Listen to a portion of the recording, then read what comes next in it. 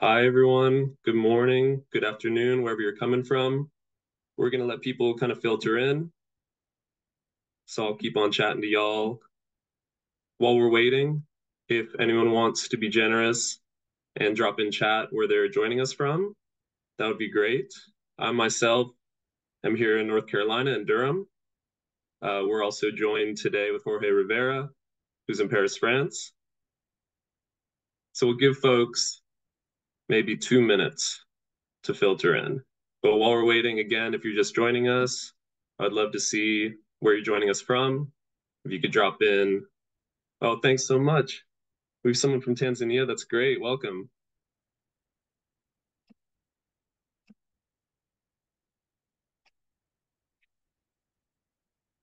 Missoula. I've been there.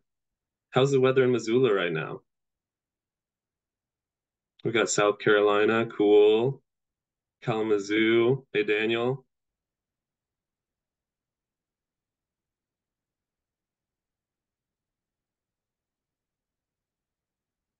Dana coming in from Canada. We're in Canada.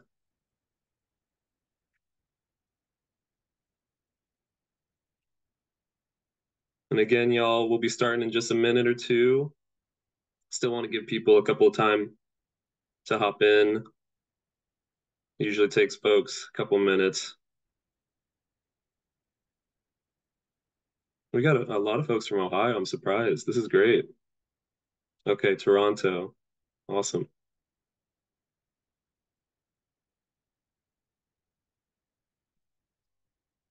Again, for the folks just joining us, uh, I'm Corey. I'm here in Durham, North Carolina. We'll be starting in just another minute.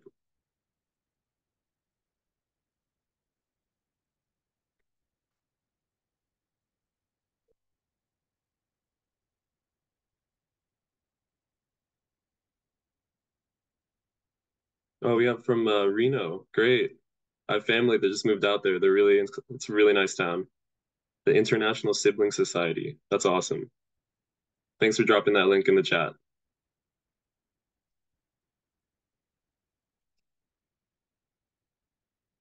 We got Michael from Atlanta. Great, welcome. Okay. I'm gonna give it maybe 30 more seconds and then I'll start cruising. It is great to see if you're coming from an organization, a nonprofit, uh, foundation, if you could drop that in the chat. Love to see where everyone's coming and representing, in addition to, to where you're joining us locally. But okay, so I'm going to get started, and we'll have people continue joining as I go. Uh, but hi, I'm Corey Halbert. I have the pleasure of introducing TechSoup and also talking a bit about how we partnered with Google and Data Commons to address some of the data challenges associated with climate change and climate action. Uh, so I'll keep this moving. Some housekeeping for starters so that you can all engage today and that everyone can hear and participate. Uh, please keep your mic muted for the quality of the recording, um, but so that everyone is not speaking over each other, if you would like to respond live, please use the raise your hand button. Uh, we'll ask you to unmute to ask your question or comment. Uh, otherwise, please feel free to keep engaging in the chat. We love to see people in chat. Um, we have some folks answering questions in the chat on the TechSoup side, so feel free to keep engaging there. Uh, closed captioning is available. You can find that if you turn on the CC button located in the Zoom menu on the bottom. Before we start, I want to give a sincere thank you to our sponsors of this event, Cloud Signature Consortium and Google.org. We're truly so appreciative of your support and really grateful for the opportunity to hold this briefing uh, and to do this work. So today we only have a couple of speakers, uh, one being myself, Corey Halbert. Hello. Uh, I'm the climate lead on the team here at TechSoup. After I speak, we'll have the chance to hear from Jorge Rivera, the data director from the One campaign, uh, who is tuning in from Paris, France. Uh, Jorge, we're so lucky to have you speaking on this and are really excited to hear about how you've been interacting with Data Commons uh, to support the climate work that you do. So we have a relatively short time together today, uh, so I'll be keeping things moving. we'll start with an intro to TechSoup, lead into what is exactly Data Commons. Uh, then we'll talk about what TechSoup has been doing in terms of climate change, in terms of climate change while leveraging Data Commons. Uh, we'll then hear from Jorge about the One Campaign's journey with Data Commons. Uh, and finally, we'll wrap with a short Q&A. And so as we're going, if you have any questions, please feel free to drop that in the chat. We'll keep a log of those, and then we'll respond to those at the end.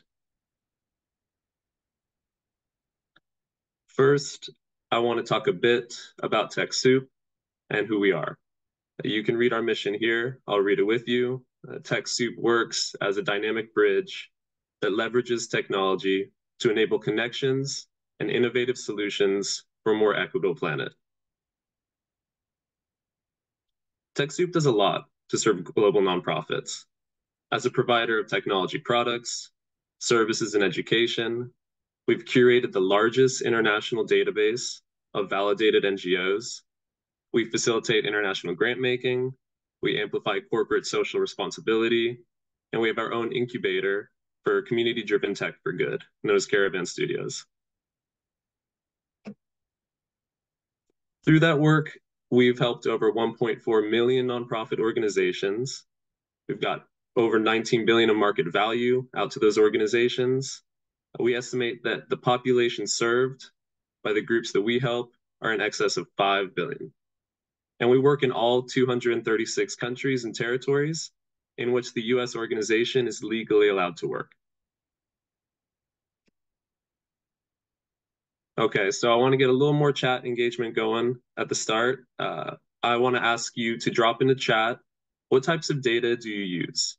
For those of us that work in the climate space, do you use spatial data? Do you use satellite imagery data? What types of data are we working with? Are you looking at maybe land use change? How about maybe freshwater health indicators?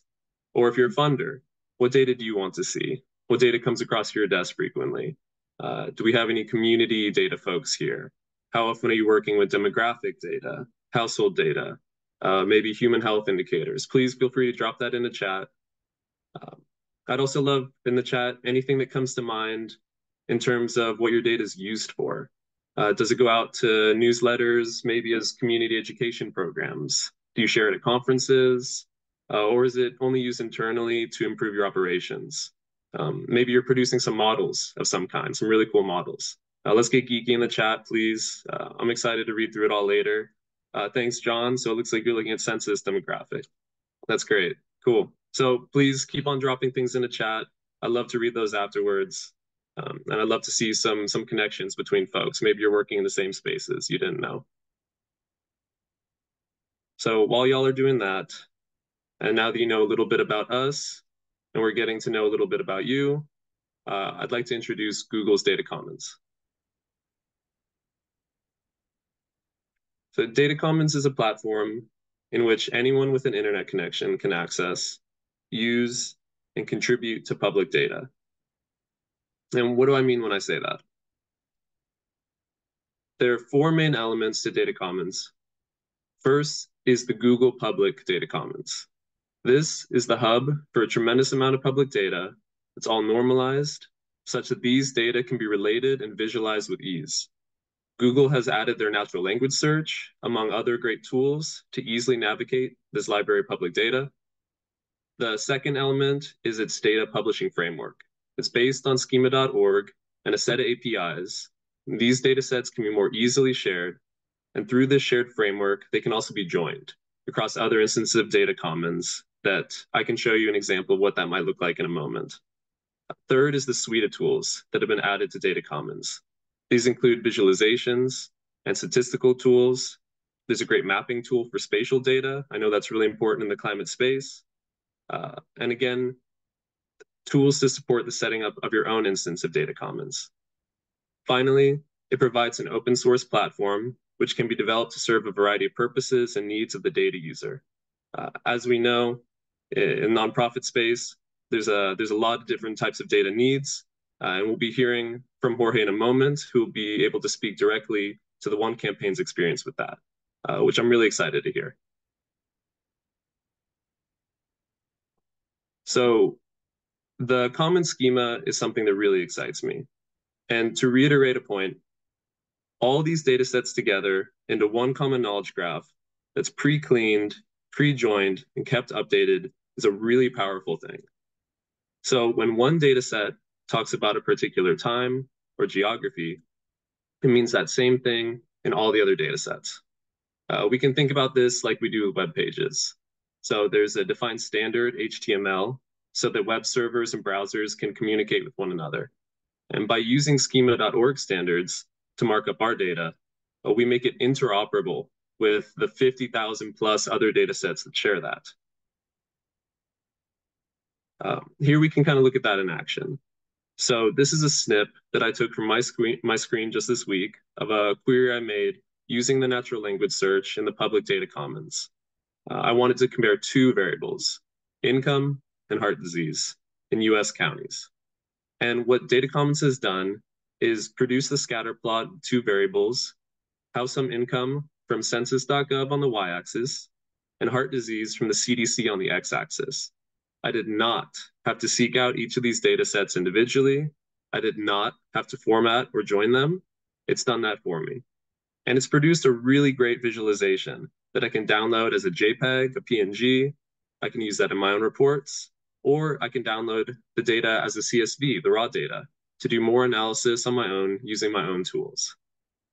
This is a tremendously powerful thing here. And the time that this has saved me the data cleaning and formatting skills that I did not need to have to produce this is really, really great, really inspiring. So to look more closely at what data makes up Data Commons right now, uh, because it's vast, uh, the open source Data Commons server provides access for users and connections to their distributed data sets. There's both a public Data Commons, which is hosted by Google, and private instances of that uh, hosted by others. So TechSoup uh, has one that we could talk about later. The One Campaign is working on their own. Um, there's a massive amount of data now across many different domains. There's demographics, there's economics, environmental data, health, etc. Um, currently, it's five times the size of the Federal Reserve of St. Louis Economic Database, which is already a huge collection of data. Um, and of course, what matters is what data do you need, right? the world of data that people need is much faster. And so what we're working on is advocating for the inclusion of more data into this data commons to fill those data gaps, to serve more needs. It's always growing uh, and currently is already a massive library of data.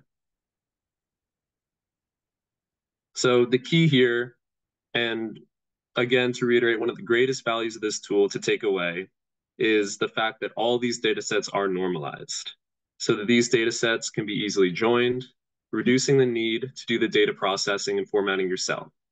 And for nonprofits who may not have a dedicated data staff member, uh, this can reduce the barrier to engaging with these eye-opening data sets severely. The process for searching for data, discovering data, then cleaning, then formatting, and then finally getting the chance to analyze or visualize data is no easy task, and we know this. And Data Commons addresses these needs really well. So now I want to talk specifically about climate change and the data needs that this challenge presents generally. As many of us know, climate change does not impact one industry, one community, or one discipline. No, rather, climate change is inherently interdisciplinary. It spans an entire spectrum of industry, community, and environment. Climate challenges can be highly localized, for example, in one specific river, one locality, a specific community, or it could be wide and cover an entire continent, an entire climatic system. These challenges require that data represents all the variables that are in play here, ecology, society, industry. And this data needs to have the ability to relate to each other. It needs to talk to each other and interact so that we can yield analysis that decision makers can act on. Let's consider, for example, how many disciplines may be included when addressing the climate challenges in semi-arid regions like Australia, Africa, or South Asia. These areas have shorter rainfall seasons, longer dry seasons, and they can face a myriad of variables that impact the socio, ecological, economic stability of the area. Within these regions, there are several locations known as climate hotspots, Uh, this is a term in which an area where climate change signals are overlapping with socioeconomic challenges, and they can compound. To address these challenges, you must consider an interdisciplinary approach. There's no other way to approach this. The economics, the social, and the political aspects are intimately coupled with the ecological environmental status and health. Uh, I'm positive I'm missing a huge number of variables on this list that would influence the work in these regions. And if I did uh, miss any that are just screaming out loud to you and you're thinking of that, please feel free to drop any of those variables or aspects of climate work that I've likely missed in the chat. Um, but my point here is that climate challenges are not simple, and data can come from a huge range of sources, uh, which the process of hunting for and normalizing again, that data can add a lot of time to an already overworked and overloaded nonprofit staff member whose priorities may have to be somewhere else. So let's again visualize how data commons can address this challenge. Um, I love this, this visualization. Here we're looking at data from Feeding America and from NASA at the same time. Um, if you're unfamiliar, Feeding America is a food security organization based in the United States uh, with an extensive network of food banks and pantries nationwide. Um, and what they've done is they've collected a great deal of food security data in the United States. What we're looking at here is the visualization of that food insecurity data, which is on a per capita basis on the x-axis. And on the y-axis, we have maximum temperature projections based out in 2049, um, developed in a model scenario by the work of the researchers at the Coupled Model Intercomparison Project. So we can visualize these two very robust, very different data sets at once, one being food insecurity and the other being temperature projections, and ask some questions. Is there a relationship between projected maximum temperatures of these US counties and food secure populations, it might be a stretch. But what this is doing is visualizing and relating two data sets from completely different sources and allowing us to develop stories and our own theories and our own hypotheses and discoveries based on that. And we can do that without the need for data staff member to normalize and format these data sets so that they can be joined on one visualization like we see here. By being on data commons, these data are normalized already. So we can quickly and easily create graphs like this. And we can have a graph that has Feeding America data and research from the Coupled Model Intercomparison Project without having to go to either of their sites, their data download portals, format, and then visualize the data. It's already right there for us to explore. I also want to point out off to the left in that white scroll bar, um, that's where we can navigate more variables more variables that are ready to be mixed and matched with each other to make similar visualizations like the ones we're seeing. Uh, and again, without the need to go to the US Census or NOAA's Digital Coast or USGS um, and download that data there. We don't have to normalize it either. If you explore data commons after this event, um, you might find that we have data sets in a great realm of uh, demographics, energy, emissions, health, housing, crime, etc. Um, and again, they're already there for you to explore and play with. So I want to talk now about TechSoup's role in this and how we've been partnering with Google and Data Commons to continue to reduce the barrier to these data discoveries, specifically in climate NGOs. We're working to supplement the already vast network of academic and authoritative sources of environmental data, uh, like the Met Office, Again, NOAA's Digital Coast is a great tool. USGS data download tool. Climate.gov is a, a tremendous resource. Um, we're not looking to replace those, rather supplement them. There's a wealth of data being collected and aggregated by small to medium-sized climate organizations, and we want to work to share and expose that great data. Like I mentioned earlier, these data discoveries can be challenging uh, due to lack of data staff, lack of resources, sometimes we find that good environmental research is siloed. Uh, it might be collected and then put on a shelf somewhere to sit. Or as the research wraps up and is completed, there might be a newsletter or a report produced locally, uh, which could be really impactful in other communities to learn from and explore. In addition to engaging with these climate NGOs to share their data, we're also engaging with the climate community generally uh, to learn more about how their data is used. How is it being shared out? What are the tools that can facilitate more sharing of important climate data like this? Um, as our own Mike Eaton said well, uh, data commons, this is lowering the barriers to insights. And I agree completely. That's really what we're trying to do here. So there are three major elements to the work that we've been doing at TechSoup. And I'd like to briefly talk about them here. First of all, we're supporting a limited number of nonprofits to get engaged with Data Commons through the sharing of their data. We're really excited about this work. Uh, it helps stretch and grow the web of data that's available. I myself am managing our climate data partnerships, and so I think now is a good time for me to plug that we still have the opportunity to work with other interested organizations that want to share out their climate data through Data Commons. Um, so if this sounds interesting to you, if you're a data communicator in the climate space, an aggregator, a collector, please keep an eye out uh, for my email the chat. I'm hoping someone will drop that in there soon, um, but it'll also be on the last slide at the end of this presentation. Please feel free to reach out to me. We do have a limited number of spots, but we are happy to hop on a call and talk about what this might look like. Next, we're developing a TechSoup instance of Data Commons, which of course includes all the data available through the public Google Data Commons, but we're also incorporating non-commercial data here. We're really excited as we populate this with more and more data that's highly useful for civil society. So keep an eye out for that as it develops.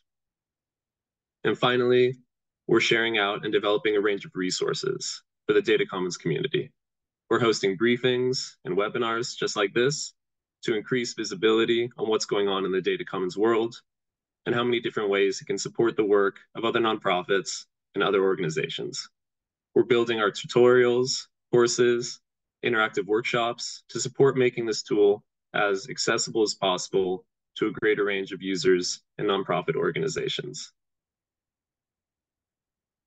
So I would be remiss if I didn't stop talking soon and hand it off to Jorge Rivera. Uh, Jorge holds a master's degree in international affairs from Sciences Po Paris and is the director at the One Campaign, uh, data director at the One Campaign, pardon me. In his work, he develops and manages data pipelines, manages tools and dashboards, creates visualizations. Uh, Jorge and his team at the One Campaign have taken a really hands-on approach with Data Commons and in their future, their work. Uh, I'm really excited to hear you speak a little bit more about that process. So Jorge, I'll hand it off to you. Please take it away. Thanks, Corey, and hi, everyone. Uh, maybe just to start a couple words about the One Campaign. Uh, and the way I would summarize what we do is that we're about getting money where it can have the greatest impact. And, and we do that by bringing clarity to complex issues, working on convincing policymakers uh, to invest money in ending poverty and preventable disease. Our primary focus is working um, on issues that affect African countries. And in you know in everything we do, we use um, a lot of data. That's at the core of, of who we are as an organization and what we try to do. Can we go to the next slide, please? Thank you. And so today I wanted to talk to you about where we're coming from in our data work, uh, what we see as the last mile data problem in terms of how how do you get this in front of people and and make data make a difference in, in the work that you do uh, and you know in the world. Uh, take you through an example that where we launched uh, Data Commons, which we call the Climate Finance Files, which is our effort at bringing clarity and making data on climate finance accessible. And lastly, tell you a little bit about what we see as the Data Commons era of our of our work, the future of our work in many ways. Uh, next slide. So uh, we're turning 20 uh, years old as an organization this year. And for the longest time, our data tech stack looked like a bunch of people and Excel right? There was no problem too difficult that you couldn't just throw a bunch of analysts and many hours uh, wrangling Excel spreadsheets uh, to get an answer to that. And, and that is the situation for many organizations, right? Like, you know, it's a model that, that works to an extent. Um, it can allow you to produce good insights. It may be all that you can work with because of different challenges, right? From financing to uh, skills, talent that you're able to attract and retain, and so on. Um, but at some point it, it wasn't enough for us there, there's a, a number of issues that come with this sort of stack if we can go to the next slide which i summarize as a capacity it, it does require a lot of people to be wrangling excel spreadsheets even if if you're very good at it um, you know if you want to do more work work with more data it means going getting it from different sources downloading it on your computer having to do all sorts of things to to get insights from it. It's not the most efficient type of workflow, just because you know you're looking at workbooks and, and using people to do it. And to us, it also brings an issue with replicability. We're an NGO, we're not the producer of a lot of this data. So we want people to be able to trust us as a credible source. And that means showing our work and allowing people to replicate what we're saying is our results, our analysis. That's really hard to do uh, when you're just working with spreadsheets. Um, and, and you know, and, and you can't kind of show the work. And so we have moved on from that sort of stack. If we go to the next slide,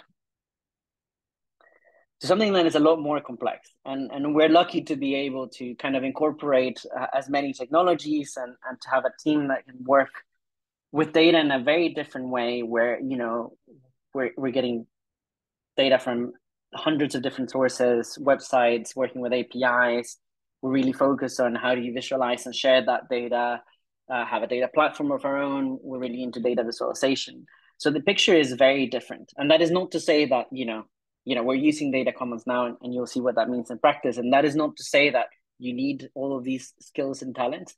That's just what we needed to develop in order to move on from the Excel framework. I don't think that that's necessarily true anymore. And I think that data commons, as we'll discuss later on, is helping you get to a similar sort of space without having to have all the skills, talents, and uh, you know uh, resources to to have a more complex um, stack. Can we go to the next slide, please? What we were trying to solve for is um, how do you make data be accessible? So, you know, having the data that you need to answer the questions that you want to answer without having to spend days or weeks compiling it, have it be understandable to the people that you're communicating it to. Um, so, you know, how do you visualize it in the right way? What context do you provide? What are the right materials and support that you bring to how you present data? And how do you make it actionable? And, and to me, the question of making it actionable, it's a lot about are you spending most of your time getting data, cleaning data, and doing some basic number crunching? Or are you spending most of your time trying to analyze it, understand it, find ways in which it can solve a, a problem that you have, a question that you have, or, or where you can find a fact or a way to see the data that will make it hard to ignore? Um, doing that is very difficult on the kind of the, the previous model. If we go to the next slide which in our case as an ngo that publishes reports it, it, was a lot of pdfs you know that, that was the extent of of how we shared a lot of this knowledge and a lot of this data. And it's still the case in in a lot of you know government reports ngos you know think tanks. A lot of that is is reports. And reports make it very easy to kind of read information and share it in an email but they make it very hard to keep that data up to date um, to find exactly what you're looking for. Imagine you have a 200 page PDF and you're looking for a specific style and specific number. That that may be a challenge. Um, so, you know, we concluded that doing data through PDFs, communicating data through PDFs, and research and analysis was not the right way to to think about um, how to influence people in the end and how to get change uh, with data. So, if we go to the next slide in uh, a few years ago, we launched our, our data pl- platform called data.one.org. And what you see here is an example of a report that would have been a PDF that today is a page that's breaking down the data with interactive charts, is looking at what is the issue. In this case, we're looking at climate change in African countries. And, and then how do we make the data make sense um, and, and bring it to life in a way that is making the problem clear, pointing at the solutions, what are the opportunities, what is the key data that we need to understand um, climate change in African countries, what the risks and opportunities are. So it's a very different way of thinking uh, about reports. It requires a different type of infrastructure, right? Here is a question of how do you keep things up to date? How do you build visualizations? Where is the data coming from? How are you going to share it? You know, it was it was the work of of several years. Is still the main way in which we communicate data today. Um, but you know, it, it took quite a bit to to build. And if we go to the next slide, um, a lot of the problems that we're trying to fix are, as, as Corey mentioned in his presentation, about you know like data coming from different places. In in our case, if we look at the climate finance files, which is an example of how we work with data, and how data commons can and is making a difference for us. Is that this data exists in you know many different Excel spreadsheets. Basically, all developed countries report to the UN on how much they're providing in climate finance. Everyone uploads an Excel file. That Excel file has you know all sorts of messes. You know, it's it's quite messy. People don't identify countries in the same way. They don't call the same things the same. Anyway, previously doing that sort of analysis would have taken you know, and it did take us quite a few months of like wrangling this data into into a decent enough shape that can allow us to do um, research. Uh, if we go to the next slide, please. Um, now, you know, in terms of how we share it and how we're able to access and continue doing analysis through it, it can be as simple as asking a question. We've put it on data commons, and it can be as simple as asking a question like, how much climate change mitigation finance does the World Bank disburse? It's a very simple but complicated question. Um, and if you go to the next slide, almost as if by magic, you know, data commons shows you uh, an, an answer to that question, right? It gives you an amount. And if, if we were able to keep scrolling there, there's a, an image, it would show you kind of different charts, different ways of looking at this question. It all happens in a couple seconds because all the data is there because it's able to understand the kind of question that you're asking. And so that unlocks endless possibilities in terms of how you're able to analyze the data where it's not about you have your huge Excel spreadsheet and you spend a lot of time creating pivot tables and filtering and reanalyzing it. It's also not the universe where it would have taken us, you know, several days to build a few charts, uh, crunch the numbers, put them on the website. It allows us to really just ask a question, get an answer. Corey also showed you a couple of the interactions that you're able to to have on data commons where you can build your own charts, scatter plots, maps, timelines, and so on because the data is already there and you're able to combine it with with other sources. Can we go to the next chart, please? So we, we launched the climate finance files and you know part of our objective here was um, to, to bring more clarity and to make this data accessible and, and that it shouldn't just be about climate finance but it's about understanding how this this plays with other issues so climate change for example is costing africa at the moment about 15 billion dollars per year um, that's more than the GDP of 26 countries in Africa. And by 2050, that could explode to about 50 billion per year. But before we launched this work, I mean, th- there's been great effort to try to quantify this, but it, it's really it's been really hard to see how much climate finance has actually been committed and delivered to these countries. And this was our effort, um, and we'll post a link uh, in the chat to bring some answers to that uh, we found, for example, that the 20 most climate vulnerable countries receive just 6.5% of the climate finance they need each year to adapt to climate change, which is a tiny amount. But that is only possible if you're able to bring different data sets to like look at all the data that you have and start asking some of these questions. Can we go to the next slide? So that brings me to a little bit on the data commons era for us. Um, you know, as we've discussed in this webinar, it is about bringing that barrier to access down in terms of working with data at scale. For us, the scale may be bigger than for other organizations, but ultimately, it almost doesn't matter how big you are or how small you are, you face the same problems. Data doesn't come from a single source, data needs to be cleaned, it needs to be normalized. All these things apply. And once you stop spending as much time on that, like you can do a lot more. Um, the question then is not about how you will get data, but what will you do with it? In which ways will you analyze it? What sort of communication supports you'll put out? So it's tipping the scales from just spending all your time compiling and cleaning and shaping data into analyzing and amplifying that data. Uh, and that's what we have done in the last few years as an organization with the infrastructure that we had built. And that's what we hope to do with, with data commons. And if we go to the next slide, um, you know, our ambition here is, is to become the key open data repository on, on international development data, uh, development finance data as well, uh, and be the best platform where you can explore, analyze, and understand data from developing countries with our particular focus on Africa. We wouldn't be able to do that if we were just building on the infrastructure that we had been building since 2020. We're a team of four people. Yeah, it's big in some ways, but it's also tiny in some ways. So if we wanted to build a database with trillions of data points, with natural language search, with access to all these different sources, like there's no way we could have done that, right? So when the opportunity to to create a, a custom data commons instance um, came up to us, it was a way of saying we could spend the next decade trying to figure out how to get to that point, achieve that scale, or we could literally just use this open source tool that is being developed by Google, make it our own, uh, build upon it, um, and you know, spend our time using the data rather than thinking where do we get it, how do we clean it, and so on.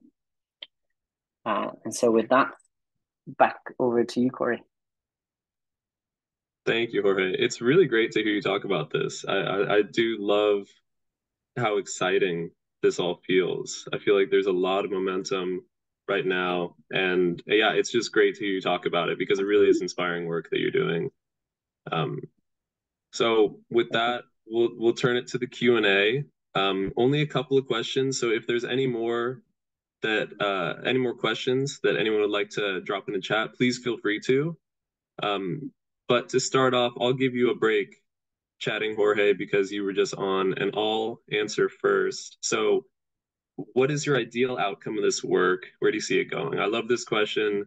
Um, I see this as, you know, what's your dream scenario for this?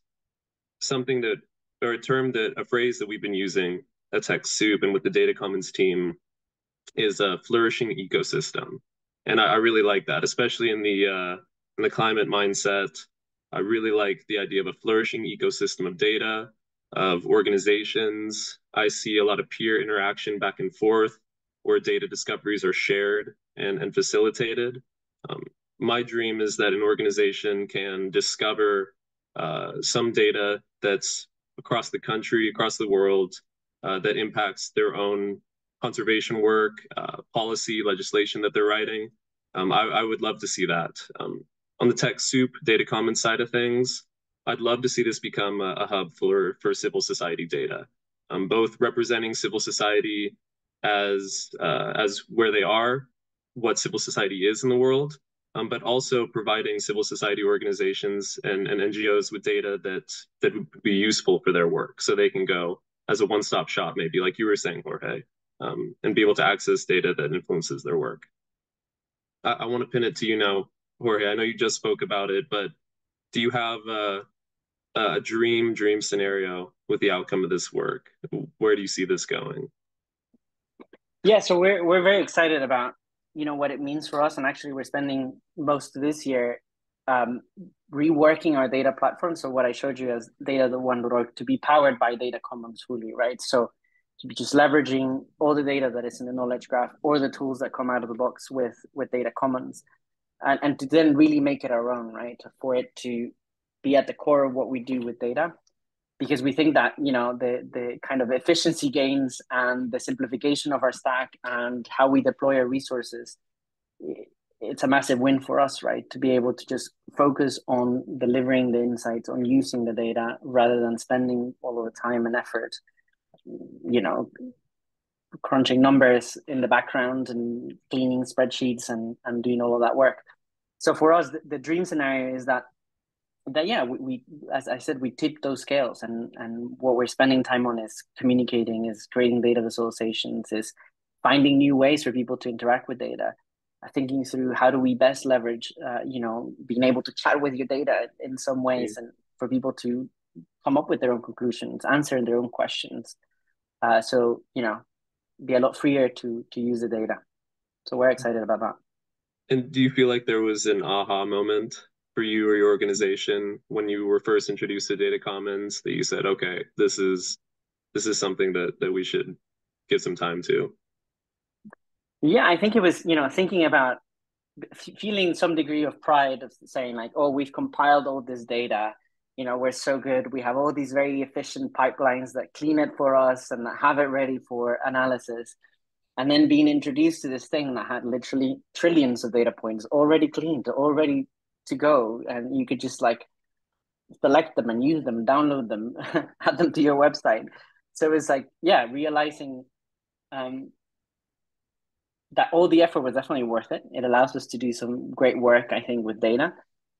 But there's a whole different scale that can be achieved when when you're working as a as a sector and contributing to the same kind of standard and using the same sort of tools. And it's not just the one campaign producing its data infrastructure but it is the one campaign contributing to a data infrastructure that is there for open data for civil society to have access to it for different data publishers to be able to contribute to the whole ecosystem as well. Truly, truly.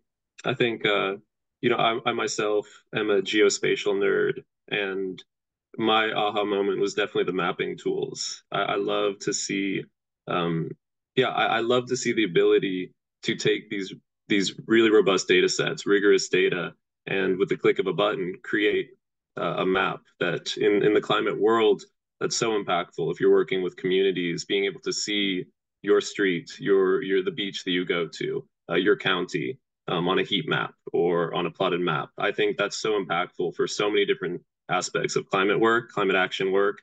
And yeah, I, I love that opportunity to be able to play with that in a space where otherwise, you know, we have QGIS, we have Esri tools, we have all these different geospatial tools that take some rigorous training to be able to produce a, a layout and have a PDF to put in your reports.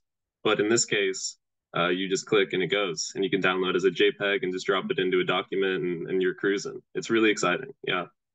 Um, okay so that's all the questions we, we've gotten so far. Please if there's any more uh, we're happy to field those uh, but i know we're wrapping up on time so i'm going to go now to our last couple of slides um, ways to stay engaged we really love staying engaged with our communities we want to keep this conversation going um, so please reach out to us uh, connect us with others who care about public data, who's sharing data, who works with data in a, a communicative capacity or an analysis capacity, um, and, and, reach out to us to export, uh, support the expansion of this work.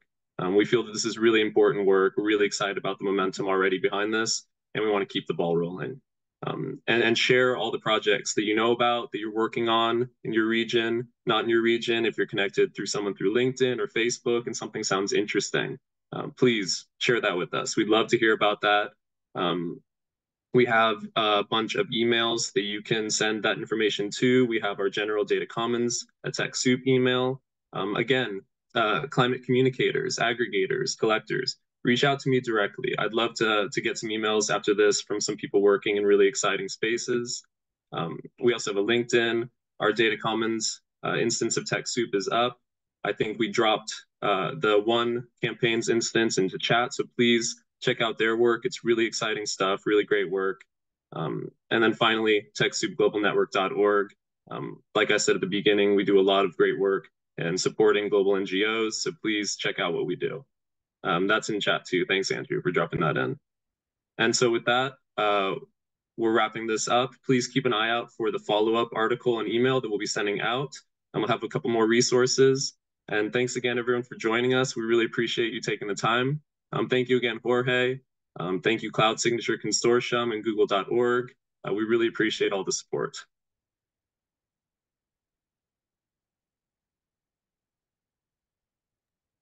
Thanks, Corey. Thanks, everyone.